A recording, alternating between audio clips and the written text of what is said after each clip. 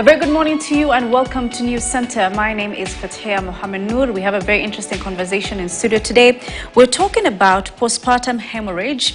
And it's said actually to be one of the biggest causes, or rather, the biggest cause of maternal death in the country. In studio, I'm joined by Dr. Kireki Omanwa. He's the president of Kenya Obstetrical and Gynecological Society. Thank you so much for making time. Thank you very much for Right. Like I had said, you know, um, postpartum hemorrhage is said to be one of the biggest uh, maternal death causes in Kenya. Absolutely. How would you define what postpartum hemorrhage is? Okay, postpartum, you see, when a, when a woman delivers, Right. there is what we call the placenta. And the placenta is what connects the baby to the mother. So once the baby has been delivered, this placenta has to come out. When it c- comes out, there is a limited amount of um, bleeding that occurs. Remember that a womb which uh, is not carrying a baby is about about the size of my arm, my hand, eh? about 140, 150 uh, grams. But you see, this is a structure which has grown to accommodate a baby. Uh, let's say about three kilos, 3.5, sometimes even bigger. And apart from that, that womb also carries fluid where the baby lives, and it also carries the placenta and so on. So it is stretched to a, to a certain to a certain limit. So when that placenta comes out, there is a little bit of um, bleeding, about 100, 200, 300 milliliters, and then after that there is a mechanism which basically starts uh, starts um contracting the uterus, uh, squeezing the arteries that pass through, such such that they block. You remember in order for that baby to survive in the womb, there has to be blood which passes from the mother through the placenta, through the cord to the baby. So that's how the baby gets um, nutrition, and some waste products also pa- pass um, that way and into the, uh, the mother system. So when that contraction is not there, and the womb which was stretched does not contract, it leads to excessive bleeding. And when you talk about uh, excessive bleeding, here we're talking about a loss of blood of about 500 milliliters or more. Unfortunately, sometimes women lose about one liter, 1.5 liters, or even two liters, and this actually leads to, uh, to death, unfortunately. Right. Why do you think this is the case in the country? Is it that we don't have enough, you know, um, resources to take care of women when it comes to this particular? A very good question. But uh, I'll take you a little bit back a little bit. When you talk about uh, maternal mortality rates, um, uh, Kenya unfortunately is not doing very well. Our maternal mortality rate is about 364 uh, women in every 100,000 women who deliver in a year. So if we say that uh, there are 1 million deliveries, we're actually losing 3,640 women. So today, so if we break it down um, um, uh, so that it's a little bit clearer, Yeah. if it's 3,600, let's say, in four, let's say 4,000 women, just for, for our, our discussion, it means that uh, every month we lose about 3,000, 360 women. Every month. Very big number. So in a day, so we m- divide 360 by 30. So we have about um, about 12 women Yeah. every day. So as we are discussing today, by the end of the day, 12 women will have died in this country. A, a very big number. Yeah. Now, um, uh, what are some of the causes of um, maternal mortality rates? We have what we call the big 5 and the first one is actually PPH, that is postpartum hemorrhage. The second one is what we call preeclampsia or and, and eclampsia, basically where you have um, the blood pressure increasing uh, during pregnancy, especially after the, the 20th week, and this can secondarily also lead to postpartum postpartum hemorrhage. The third one is sepsis. The fourth one is um, post abortion complications. Right. And then the fifth one is um, uh, what we call obstructed labor. Mm-hmm. So these are the big five that kill our women. But the number one that kills most of them is about uh, is um, uh, is PPH, which accounts for, for about anywhere between 30 to even 60 percent of um, maternal mortality rates. You asked your question. Why do we have such high numbers Yeah. of um, maternal mortality rates? I think the question is um, multi multi pronged. There are different reasons for that. Um, the first reason could be lack of awareness that the mothers who are carrying um, uh, these babies, and especially who have predisposing factors, for example, they are carrying um, twins uh, that uterus is extremely stretched may have a problem in contracting when they have delivered. Women who have fibroids, for example, and we know that um, African women, women of African origin, have a 30, even up to 60% um, uh, chance of having fibroids in their reproductive period. Um, remember, when a woman who has fibroids carries a pregnancy, these fibroids are going to grow with the pregnancy. Why? Simply because of their huge amount of blood that flows into the womb, and they will also take advantage of this and they will also grow. And remember that she has to deliver. And when she delivers, unfortunately, the uterus will not contract the way it is supposed, um, it is supposed to contract. Right. You may have a large amount of fluid in the, in the, uh, in the uterus, such that when this lady delivers, may not actually uh, contract properly, leading um, uh, to PPH. You may have also an issue with sepsis, for example, and that is because um, if we start inducing a patient and uh, she has, for example, the waters have broken and she takes time to come to hospital, there is a chance that there can be what you call upward infection Right. uh, into the womb, and this, of course, will lead to um, uh, to PPH. Something which we rarely talk about and which I really want to uh, emphasize on Yeah. is anemia. And what is anemia? Anemia is basically uh, a situation whereby the amount of blood is reduced, the level of blood is reduced in the system, uh, in a very um, in a very uh, layman's language.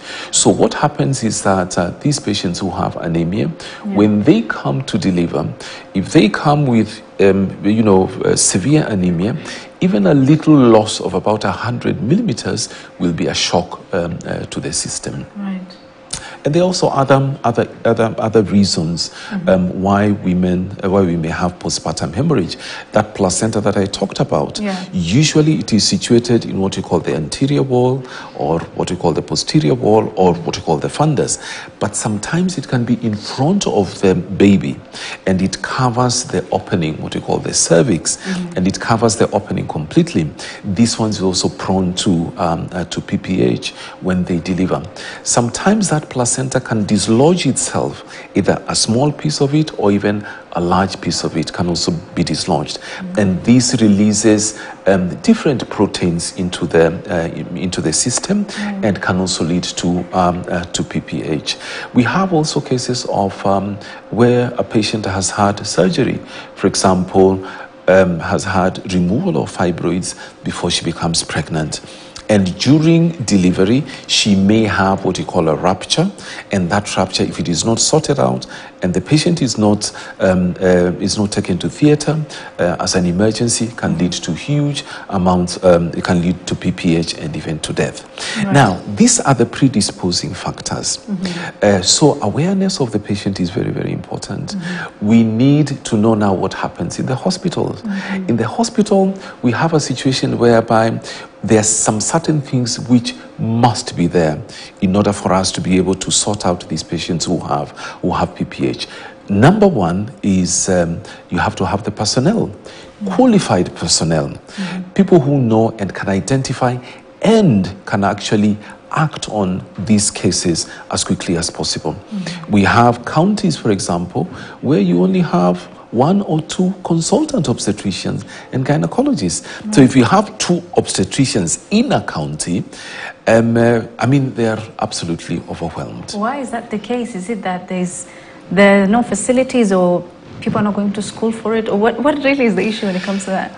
I think the, it's multi is multifaceted as well. Right. Um, number one, you may have issues whereby if I'm going to work, then I also need to get satisfaction from that work that I'm doing. Mm-hmm. I'm going out there in order to help uh, women deliver safely, such, such that these mothers can go home with their children. But when you get there, you find that uh, number one, the equipment equipment may not be available. Uh, you may not have drugs which are uh, which are needed.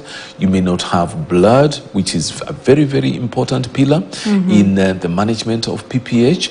And nota bene, while you're talking about blood, Yeah. um, Kenya collects about 265,000 units of blood, which is about 60% of what we need as a nation. We need about uh, half a million liters of blood in a year. And also, Yeah. of these 260,000 uh, units that we collect, um, uh, 70% of it is used by women. So it is imperative that we have blood wherever women uh, deliver. Or if not um, in the same place, then access to this very, very important uh, uh, commodity uh, should be should be made, you know, um, uh, available. So we have issues of training. We don't have enough people who want to go in the far-flung areas where um, they are going to live. And even if we do have, like now we have um, several thousand doctors who are unemployed. We have nurses who are unemployed. But unfortunately, it's paradoxical that Kenya is a country which is um, a third world, I don't know, really third world, but developing country, um, developing country. Yeah. We are actually exporting um, health workers, Right. and uh, we ourselves um, don't have enough to take care of our needs, which is which I think is um, is, is, a, is a bit is a bit of a challenge. Um, so we're exporting uh, healthcare workers. We don't have enough. Um, we may not have enough uh, medications which are needed, or the medications that we have are not actually quality medications. Why am I saying this? There was Yeah. a study which was done by our one of our uh, our seniors. Um, it was a multi-center study done in different countries in Kenya, Tanzania, South Africa, and um, and I think Uganda, if I'm not wrong. And one of the things that we, they did find out is that the medications that we use, some of the medications that we use, are actually fake number one. And number two, whatever is written on the package that this medication has X milligrams or grams of, um, of a particular uh, component was actually a lot less. So imagine that I am trying to help a patient who has PPH and I give her this medication, mm-hmm. which is either fake or does not have enough of the component that it mm-hmm. is said to have. What will happen is that she will not respond, and unfortunately, I'm, I'm going to lose this patient. Mm-hmm. So, the other aspect is that um, we don't have enough ICU centers because when these patients lose one liter, one and a half liters of blood, two liters of blood, they must be supported. They must be taken to an ICU, um, uh, ICU um, uh, ward where they will be taken care of. We do not have enough of those ICUs. We may have a building, but we may not have equipment. Right. We may have a building with equipment, but we may not have manpower. We may have a building with equipment, with manpower, not have, but doesn't have um, medications, doesn't have, you know, components like blood. So all these have to work together in order for us to, to save these, these women. Is it accurate to say then that um, there's PPH is more likely to happen during a C-section uh, compared to like a normal birth or like a natural birth? No, it can happen either in um, um, a natural delivery setting as well as in, um, uh, in a cesarean section setting as well. You see, so long as a woman has or a patient has those predisposing factors, we should think ahead. We should be proactive and saying, this patient has come and um, she has a, a history, for example, of previous PPH. So, what do we do? We have to work in an anticipatory manner in order to help her, in order, in order for her to be able to go home with her baby. Right. I want us to take this story and then we'll come back to the conversation. Now, for a long time, Kenya has been operating without laws on surrogacy and assisted reproductive health matters. And of course, this is like I in IVF. Suba North MP Millie Odhiambo is reintroducing the bill, the Assisted Reproductive Technology Bill 2022, and the Family Reproductive Health Care Bill to be debated in Parliament. Now, if enacted, the bill should see the country have a solid framework on how uh, women facing infertility challenges get help and comprehensive sex education among the adolescents. Beldin Waleola with more.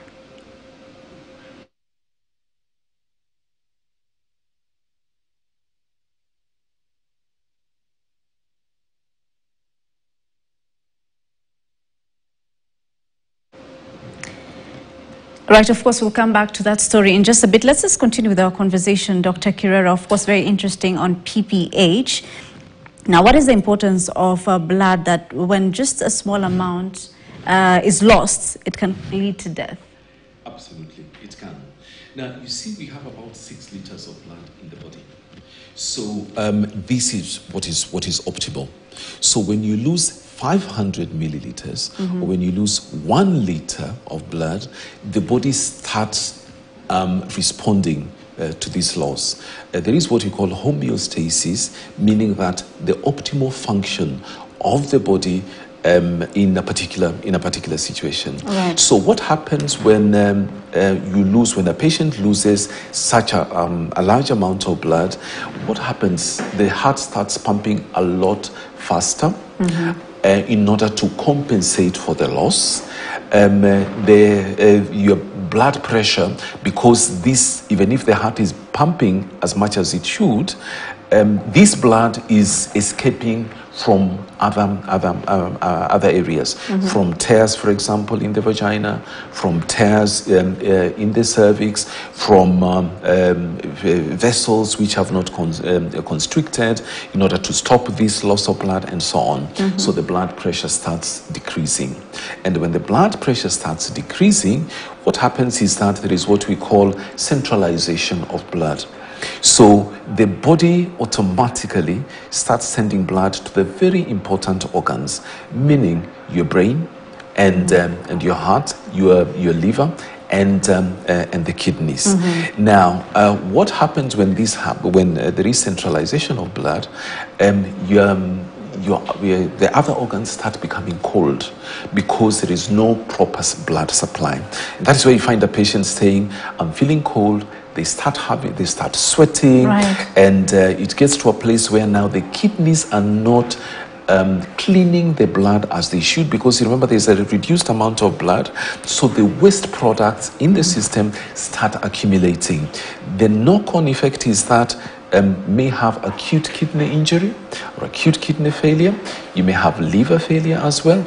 And you find such a patient starting to have, you know, getting confused. Mm-hmm. And then, unfortunately, the next step is getting into a coma. Mm-hmm. And when they do get into a coma, unfortunately, you can have also brain injury, what we call um, hypo- hypoxic ischemia, meaning because there is no enough blood supply and not enough oxygen so the, the, the brain is not getting what it does and so it has brain injury so you have a set of you know, events mm-hmm. which, um, even if we manage to reverse them, yeah. because we can reverse the, the kidney injury if it has not progressed too far, mm-hmm. we cannot or we may not be able to reverse brain injury completely. Mm-hmm. So you may find, yes, uh, this woman has survived.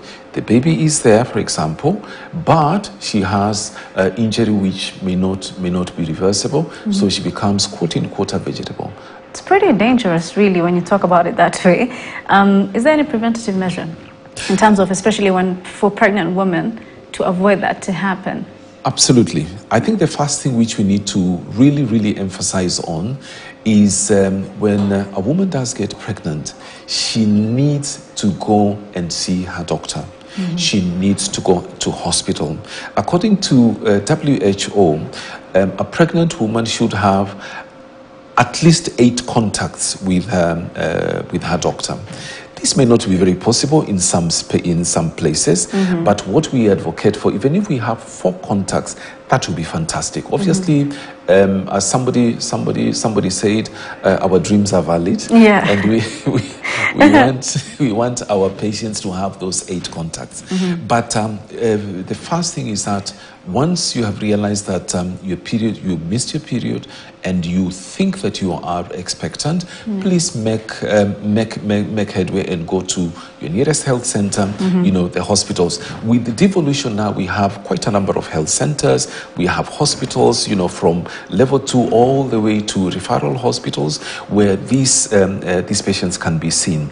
We need to check their HB the amount of blood that they have. Remember, I talked about anemia? Mm-hmm. This is something which I think as a society, and um, more so as the Kenyan Obstetrical and Gynecological Society, we are advocating for such that we must know at the inception, at the beginning of pregnancy, what is what is the state of anemia in this patient mm-hmm. because this plays a huge role in the whole spectrum of pregnancy how the baby is going to develop in the delivery and if there are going to be any complications mm-hmm. so this is important this will be one of the big big um, steps in order to sort of um, mm. uh, sort of work prophylactically against PPH. So visit your doctor um, uh, uh, regularly, yeah. and the doctor, of course, is going to check your blood pressure, is going to check the weight, and now that we are going to have um, uh, community health volunteers or community health workers, um, they need also to be trained in order to pick out, you know, some of these symptoms and signs which can later on um, uh, lead to to uh, such dramatic um, mm-hmm. turn of events, yeah. and these patients need to be referred as soon as soon as possible. Mm-hmm. So that regular checkup will actually help us to get these patients who may be actually be prone uh, mm, uh, to PPH. PPH. Now I want to ask, as uh, the president of the Kenya Obstetrical and Gynecology, uh, Gynecological Society, yes. what are you doing, you know, to reduce the number of people losing their lives, women losing their lives to PPH? that is a trick question, but is it? I just want to know what you're actually doing on the ground. Um, yeah. Uh, yes. Now, um, actually, what we are doing right now yeah. is uh, one of the things that um, the Kenyan Obstetrical and Gynecological Society is doing. We are um, That is why I'm, um, as the president of KOGS, I decided that this month we are going to talk about PPH create awareness. Let people know what PPH, uh, what PPH is all about. Who knows? We may need to extend this a little bit um, in order to uh, spread the message around um, as far as possible. So advocacy is one of the things that um, that we are doing. Secondly, we have put in place a team of, um, of doctors, and not only doctors, but also other uh, people who are um, active in this space.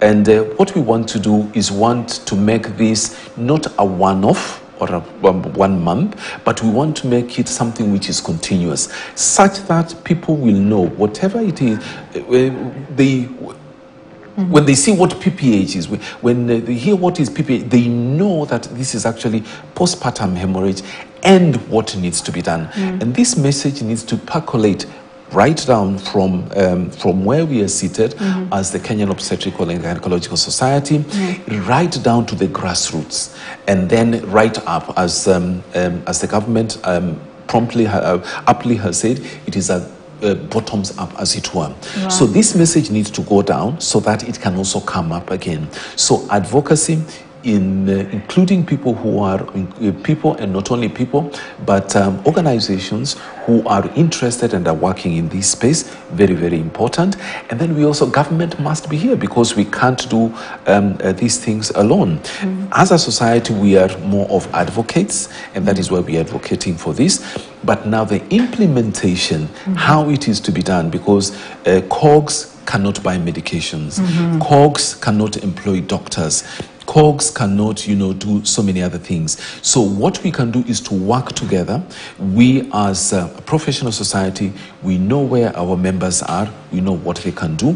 When the other entities come in, uh, the government comes in and uh, provides the medication and um, and so on, we can be able to work together in order to um, uh, to help these women. Mm-hmm. And then the other thing is um, uh, creating awareness amongst the pregnant women yeah. that um, now that you are pregnant, these are the things, these are the steps which you need to do. Mm-hmm. So this is what KOGS can do.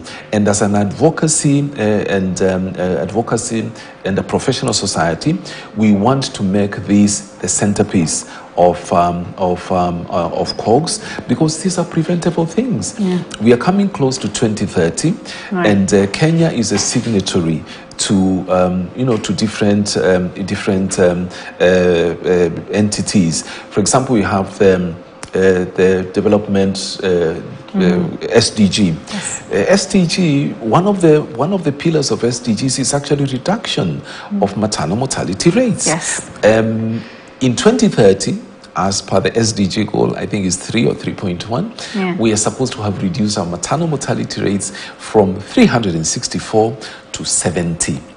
Oh. We are just round the, we are just round the corner. right. 2030 is just round the corner. Yeah. But there are things which we can do which can actually help in accelerating. We may not get to 70, but even if we reduced this maternal mortality rate from 364 even if it reduced to 150, it would be still a huge, huge step. So this mm. is what we are working on.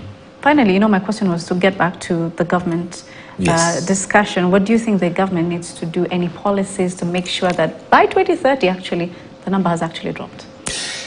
Um, there is the, I think it was the Abidjan Declaration, mm -hmm. which was, I think, in 2015, mm -hmm. that um, um, in every year, uh, systematically, the um, GDP, the amount of money allocated um, to the health uh, to the health sector was supposed to increase until it reaches about 15% of the GDP. We are not yet there, but we have made steps.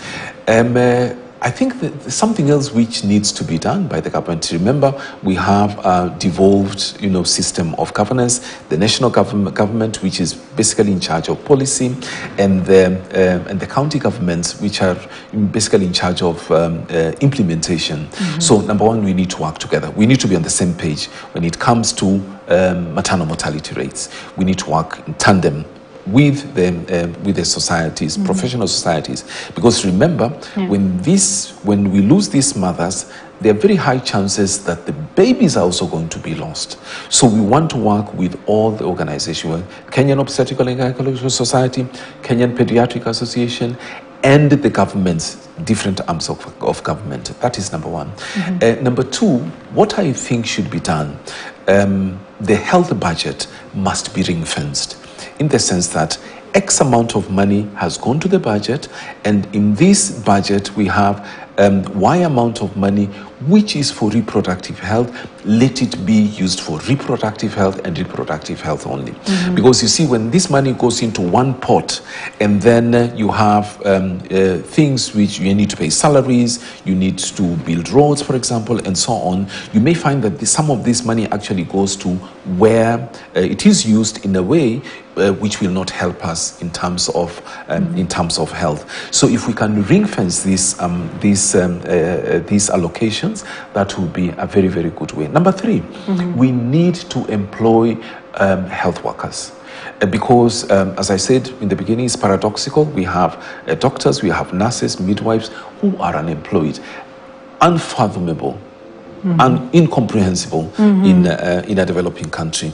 So um, we need to employ this because um, once we have this, then we can actually go back and say that we are actually fulfilling what the Constitution says that it is a guarantee of health care, highest quality of health care, including, and reproductive health is the only one which is actually mentioned in the Constitution, mm-hmm. including reproductive health. So, um, employing uh, reproductive health um, um, um uh, oh, workers mm-hmm. to be deployed into the various places, various mm-hmm. places, especially where, where there is a lack of that. Number four, uh, we need to get quality medication.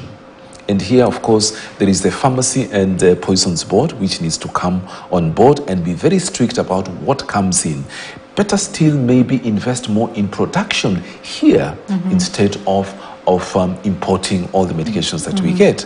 Number five, right. um, we need blood we Very need key. blood mm-hmm. because sometimes without blood there is nothing you can do we can give all these medications so that the heart keeps on pumping but the heart can't pump empty on empty. So we need blood. So we need these uh, uh, blood transfusion centers to be available in all uh, in all counties. We need to have ICUs, mm-hmm. ICUs which are functional, mm-hmm. not just a building, not just a building with uh, equipment, but a building with equipment, with human resource Again, we come back to healthcare workers. Yeah. We need um, experienced people, uh, anesthetists who work in ICU, and um, and and who can take care of these um, of, of, these patients. So mm-hmm. we have a lot of work to do as a government and also yeah. as professional society. You've outlined it very well, but I want us to go back to that story that I was talking about earlier. Yes. Where for a long time Kenya has been operating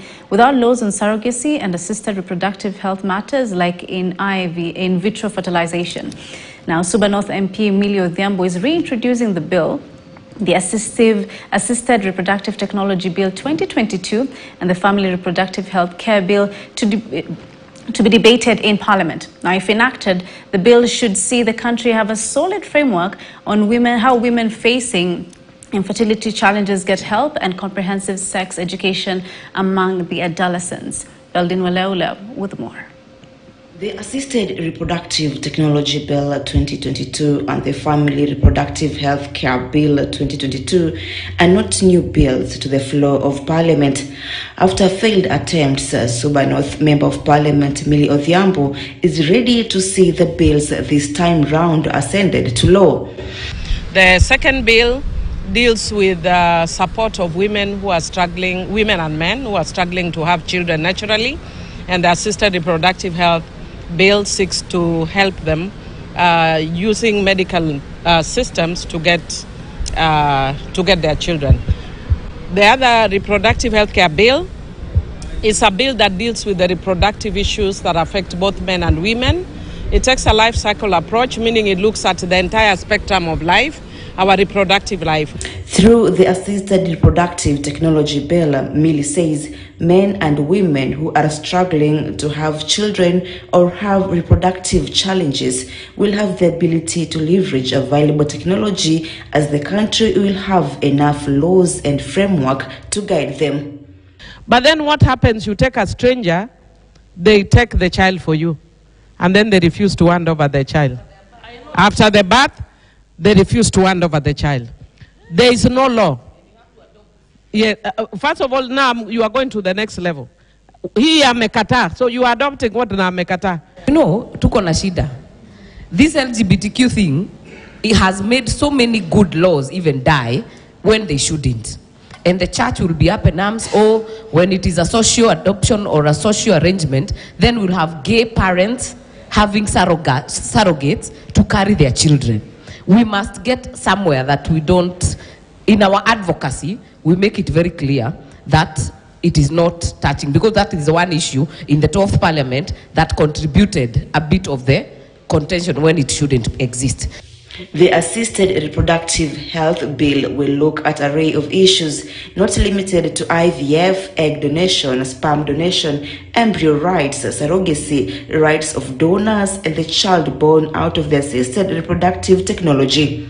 We have women who are also facing similar challenges, including menopausal issues, but because they have not been dealt with in the law, we are not able to address them. Unfortunately, and I want to encourage our religious leaders that whenever you hear about reproduction, it is not about abortion. It is about the entire spectrum of reproductive life.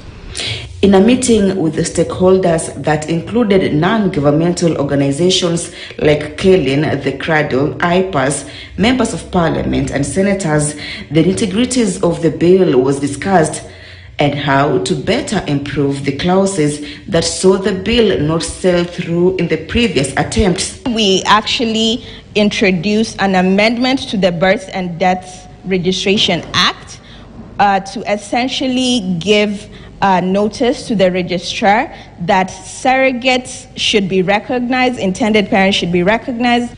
The Family Reproductive Health Care Bill has been vouched to be key when it comes to reducing teenage pregnancies, pregnancy terminations, and even maternal deaths. The bill has provisions ensuring all women of reproductive age that is between 12 years to 49 years have access to reproductive education and information, have access to quality reproductive health facilities, Teenagers have access to adolescent friendly healthcare services and facilities. The reproductive health care of men and intersex persons has also been extensively been covered in the bill.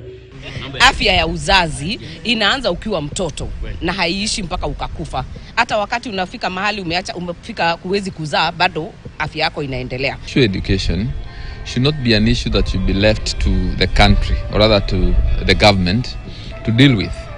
It is not uh, an issue that should be left entirely to the church to deal with. Beldine Walieula KTN News.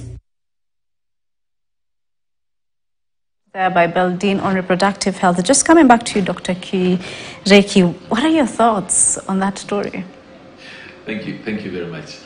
Uh, first of all, this is, uh, we have to applaud um, um, Honorable Millie, Millie, uh, Odhiambo for what she has done.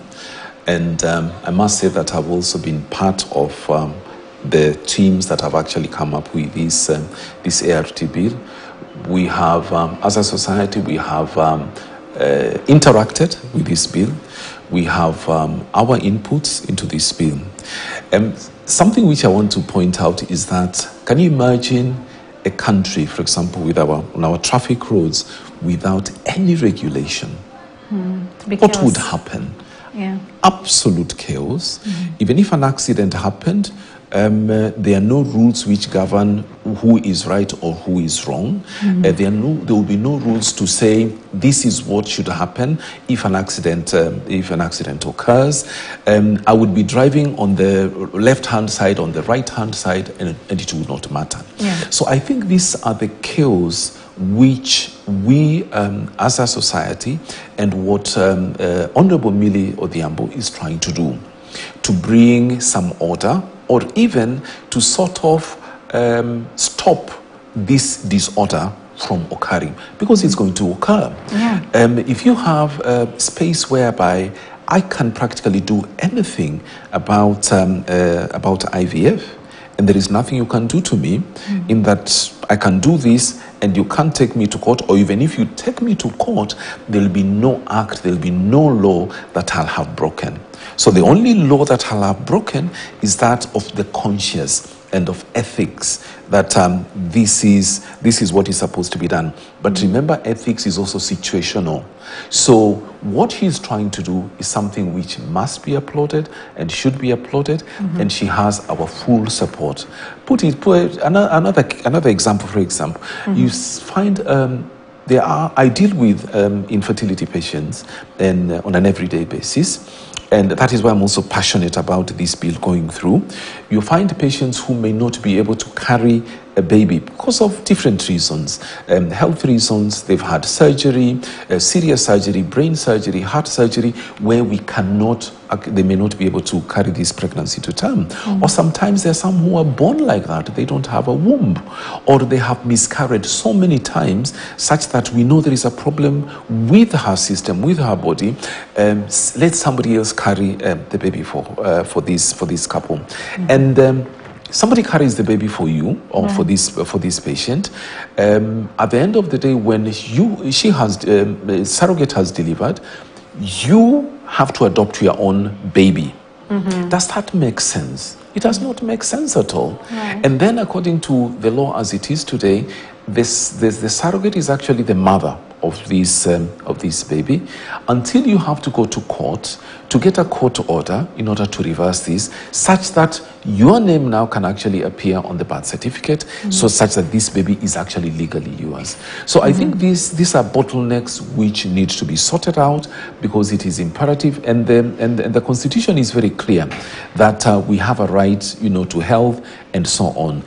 These couples also have a right to have a family and to enjoy and to enjoy the products thereof Right, I think we've had a very interesting conversation. Thank you so much.